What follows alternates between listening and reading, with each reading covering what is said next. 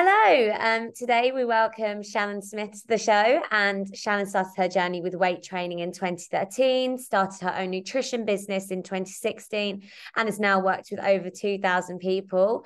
Along the way, she's won multiple um, British junior powerlifting competitions and the world's strongest woman competition and helps so many people with their nutrition, training, fitness. Um, but of course, this is just a brief summary and it would lovely to first welcome you, Shannon, to the show. And of course, to hear a little bit more about your own journey in women's health. So, yeah, hello. Hi, thank you for having me on.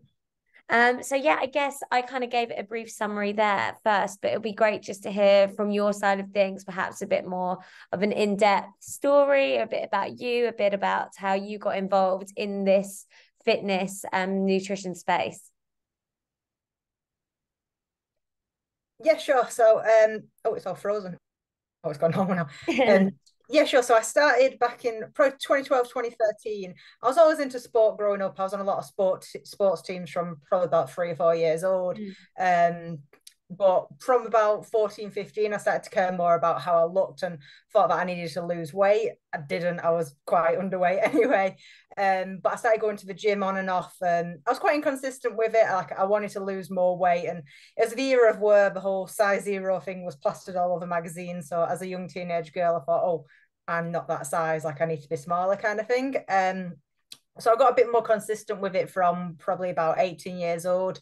Um, I started with bits of running on the treadmill. I did bits of weights machines, but I didn't really know what I was doing, and I was a bit scared to sort of use the men's section in the gym.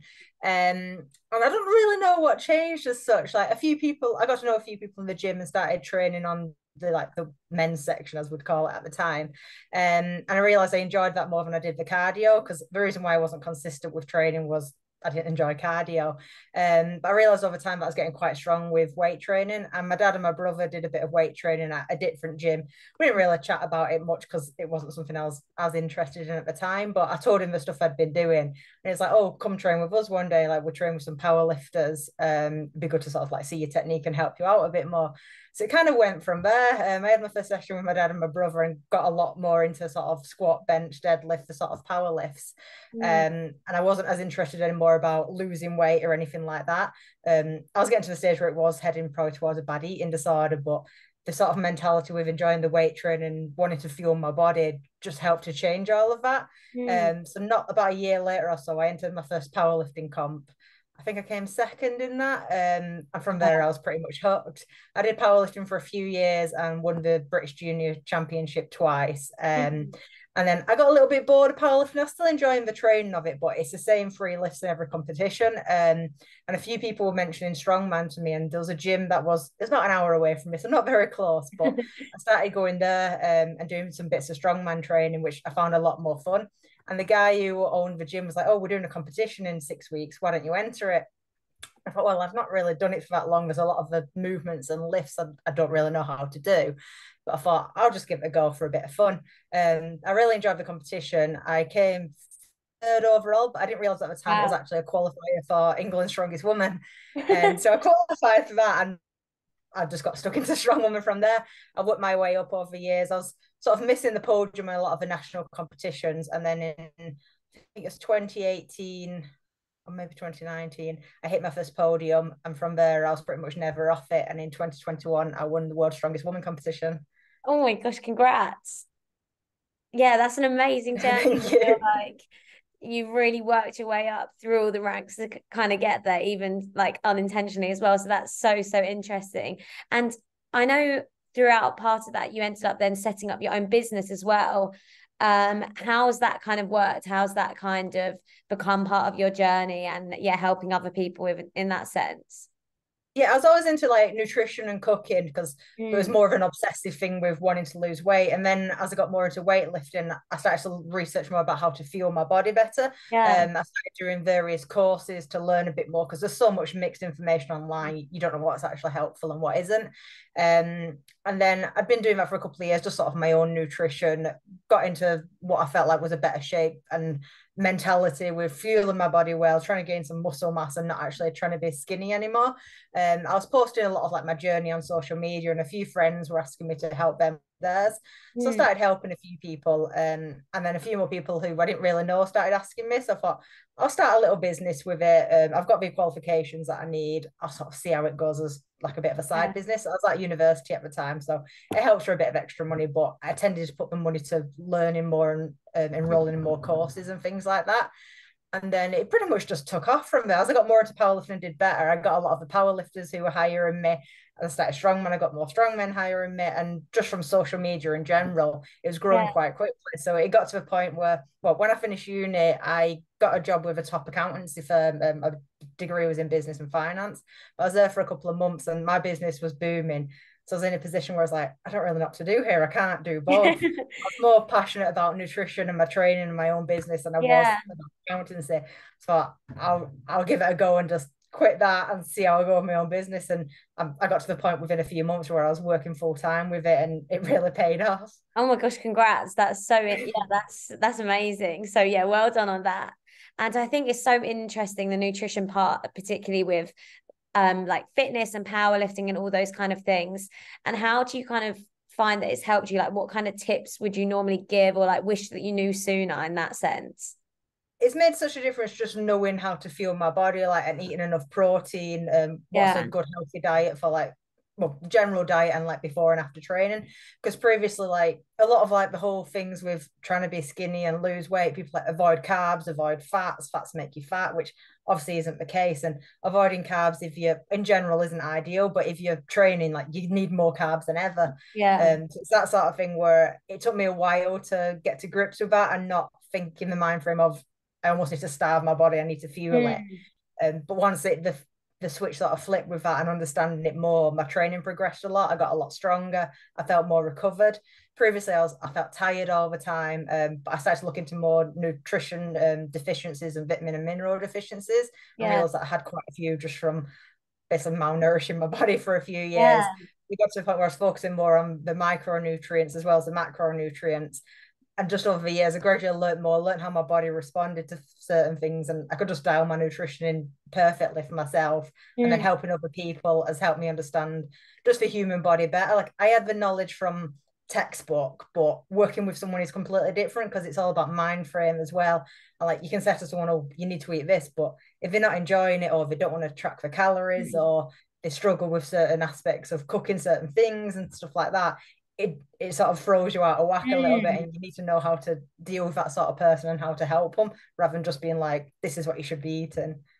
Yeah no definitely. I think also that's really important what you've touched on there with the whole reframing the attitude to it because i mean as you said there's so much in the media just being like don't like basically just don't eat and if you want to be so to say like skinny or fit or whatever. But i think what you're saying is so important in actually listening to your body and actually nourishing it and I think that's something that, yeah, so many people would like, yeah, need to have that coach sometimes just to relearn that relationship with their body and with food. Yeah, I have noticed well over the past few years. Well, when I got into um powerlifting, I think mm. around 2016, 2017, wasn't, no, a bit before then, 2014, 2015, there wasn't many women in it at all. At all. Mm. I mean, over the years, it's gradually grown, but now it's for, the past five years, it's absolutely boom where women are wanting to lift weights and wanting to yeah. be stronger and actually feel the bodies rather than wanting to be like the size zero, skinny mm. sort of things we, we were thinking about 10 years ago, which is really great to see because everyone's so much healthier.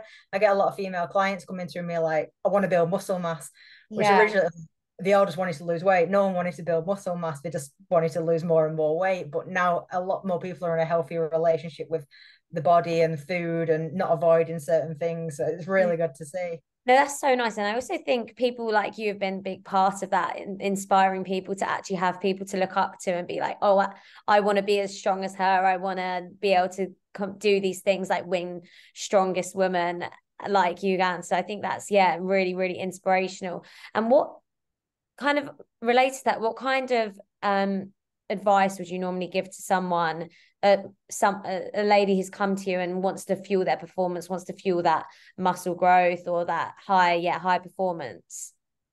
If someone's focusing on the training, I would usually want to put them in a slight calorie surplus to start with. Mm-hmm. A lot of people do get scared with that because they instantly think, no, I can't, I'm going to gain weight. Yeah. They don't want to gain fat, they obviously want to gain muscle. So I usually start it quite slow, um, introduce the right foods to them, make sure they've got a good balanced diet. And then each week we gradually add a little bit more food. So it's not a shock of adding 500 calories all of a sudden and feeling like you're eating mm. loads. Um, it works really well doing it quite slowly. And I think it helps a lot with the mind frame, especially the women who tend to have had like eating disorders in the past. Yeah. Because if you give them 100 calories extra, they're like, oh, that's that's not too scary. Like it's only a bit more. And they'll see that they're not really gaining any weight from that. Or mm-hmm. they'll notice, see, like they are gaining muscle mass. Obviously, it will take time, yeah. a few months to see your body change. But usually people are in the mind frame where they're like, oh, more calories equals more body fat instantly. Like I've had people who eat 200, 300 calories more in a day and suddenly think they've gained loads of weight, but it takes a bit of time for them to realize that's not how it works. so just generally understanding it all and taking the program, uh, the process quite slow does work a lot better with most people.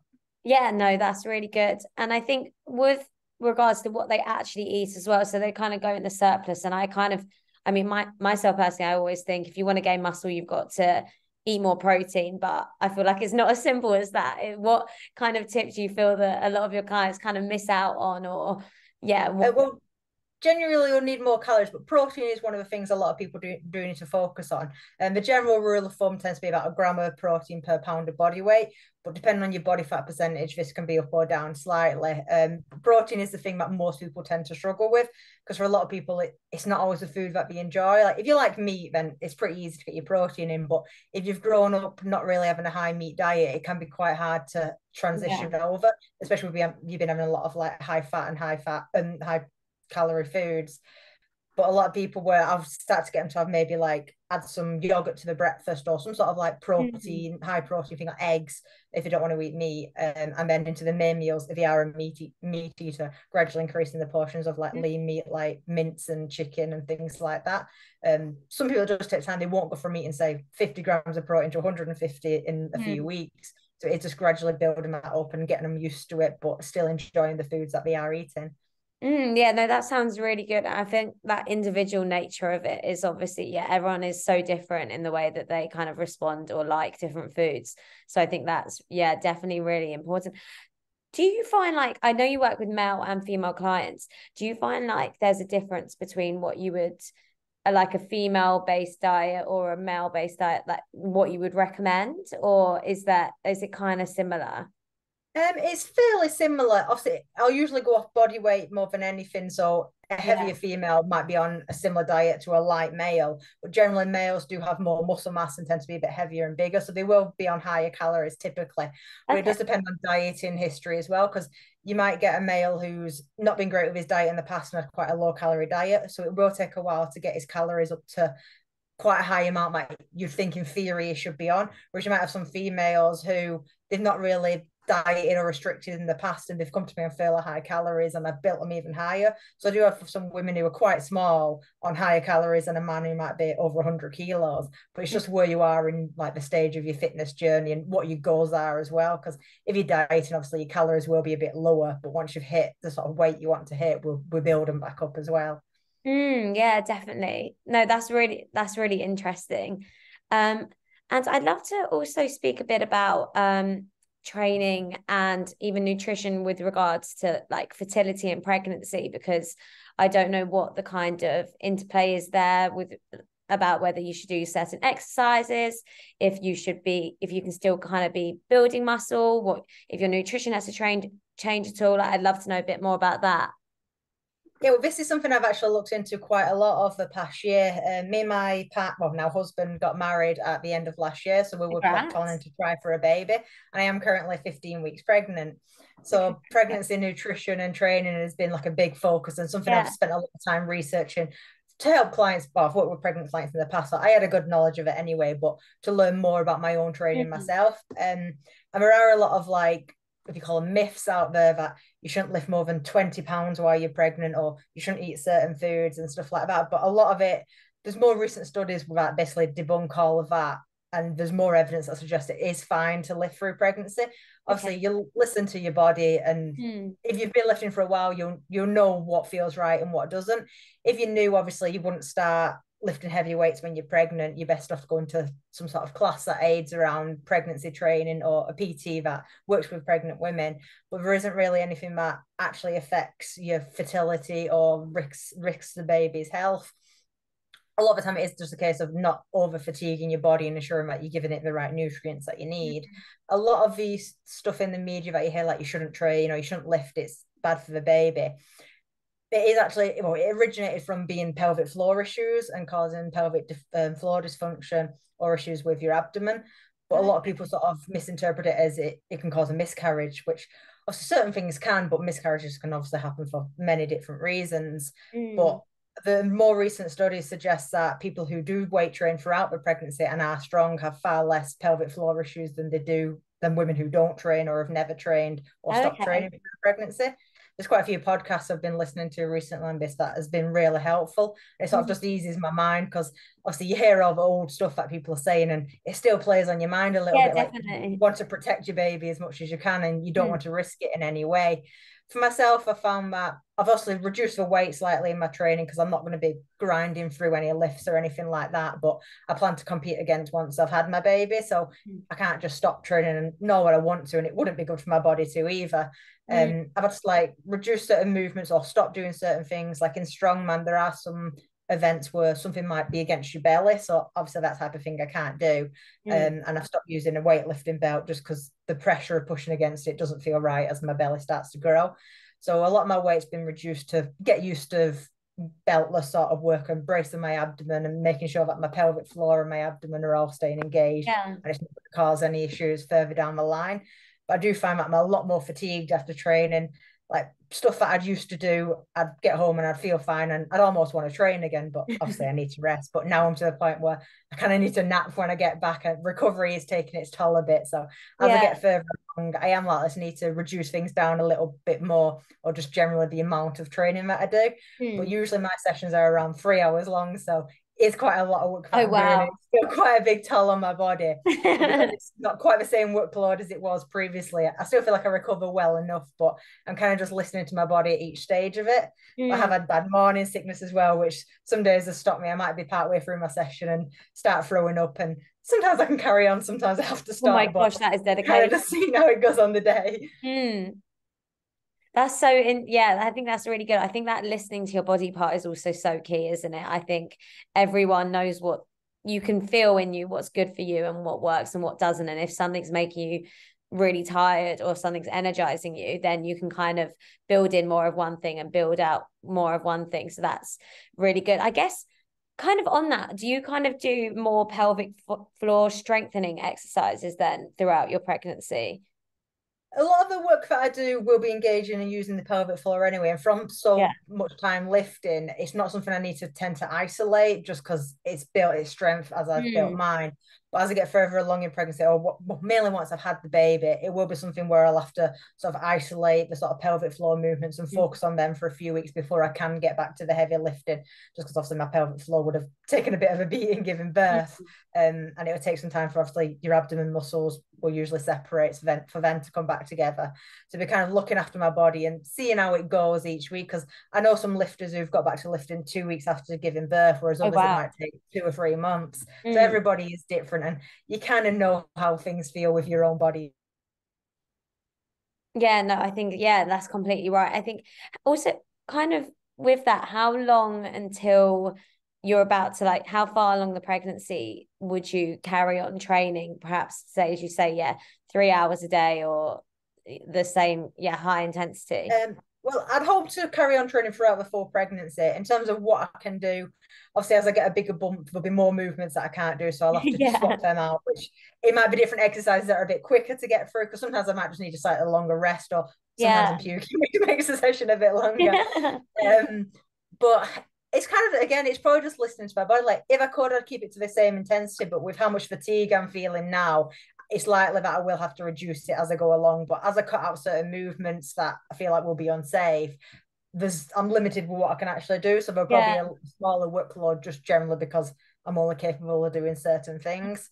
Uh, but it will be a bigger focus on like pelvic floor and core work as I get further along, or just generally keeping the movements going until I'm ready to start progressing them again once I've had mm. the baby. But I think keeping myself healthy and not avoid, not stopping the training will actually help in the long run because mm. there are some studies that suggest that people who do stop do have more issues after birth in terms of with um diastasis recti with abdomen or pelvic yeah. floor issues definitely i think i mean not that i know much about it at all but it it makes sense that building that strength in the whole body and working together a lot of them are such compound movements i think in strongman where i feel like that whole body strength was is just always going to be beneficial for like even just carrying the baby and I think yeah, also, you can't really have a weak link in your body when you're training yeah. that sort of intensity. So it'll definitely help because I know some new mums said they struggle with carrying the baby in like a heavy carrier and things like that. So like, I don't think that should be an issue for me. yeah, no, you're gonna be uh, yeah, you're gonna be smashing that part of it at least. And a kind of um related to that as well, I just have this like image of you um working out with your full like pregnant belly in my head, and it kind of is part of this whole um reinvention of what we kind of you said at the beginning the like say to say um men's area of the gym which can be quite intimidating and um particularly for women. So i'd love to know a bit about how you maybe dealt with like the stereotypes of the gym and like looking like a man what people would kind of say that that would always come when you come with weight training. So i'd love to yeah hear a little bit about your experience with that at all yes, I was always a bit worried, but it was more like people thinking like, what's she doing here? Or is she mm. like, oh, she's doing this wrong, she don't know what she's doing kind of thing. But it kind of like just passed over time as I realized like I know what I'm doing, I'm enjoying this. I kind of don't yeah. care that much what people think. But then as I went on and as I got better and I saw other people in the same situation as me, I realized that nobody cares. Like nobody's actually paying attention to what you're doing. Everyone's focused on their own training. Yeah. Like you might do something you feel you've done something wrong or something silly. But honestly, nobody in the gym will notice. And most people actually do want to help. Like I've had people come up before and give me guidance when I first started. You might get the odd person who comes up and tries to give you guidance that you don't really want or who doesn't really know what they're talking about. yeah.